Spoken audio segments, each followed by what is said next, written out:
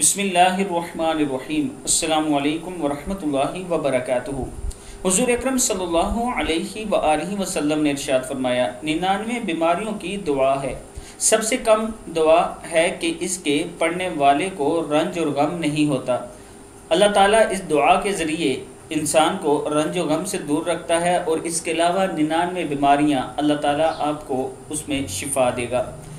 دعا کیا ہے؟ لا حول ولا قوت الا باللہ۔ لا حول ولا قوت الا باللہ۔ مشکات شریف کی حدیث ہے۔ میں اپنے دوستوں سے گزارش کروں گا کہ ایک غریب شخص ہے جسے کینسر ہو چکا ہے، اس کے چہرے پر کینسر ہے۔ یہ تھوڑی کے ساتھ اس سائڈ پہ آپ ویڈیو میں بھی دیکھ سکتے ہیں۔ یہ انتہائی غریب آدمی ہے۔ ہاسپٹل جانے تک کے کرایہ نہیں ہے اس کے پاس۔ تو اگر آپ دوست تھوڑا تھوڑا تعاون کریں الحمدللہ، کچھ دوستوں نے تھوڑا بہت تعاون کیا ہے۔ مزید تعاون کی ضرورت ہے۔ ان کا تقریباً جو فرسٹ خرچہ آ رہا ہے، وہ تقریباً بیس سے تیس ہزار روپیہ آ رہا ہے۔ کچھ انہوں نے ٹیسٹ وغیرہ کروانے ہیں۔ اگر آپ دوست ہیلپ کریں گے، اللہ تعالیٰ آپ کی بیماریاں شفا کر دے گا، غم رنج دور کر دے گا۔